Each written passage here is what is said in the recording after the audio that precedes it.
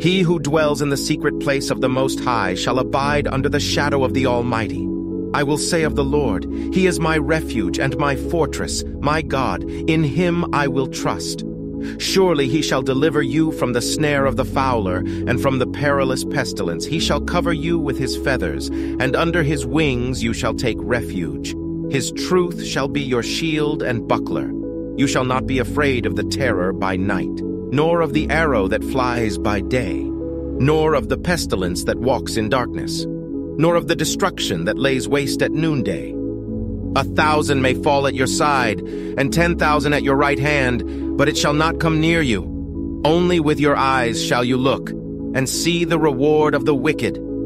Because you have made the Lord, who is my refuge, even the Most High, your dwelling place, no evil shall befall you, nor shall any plague come near your dwelling.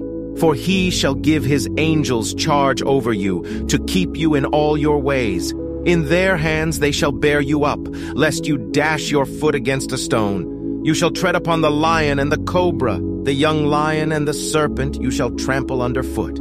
Because he has set his love upon me, therefore I will deliver him. I will set him on high, because he has known my name. He shall call upon me, and I will answer him. I will be with him in trouble. I will deliver him and honor him. With long life I will satisfy him, and show him my salvation.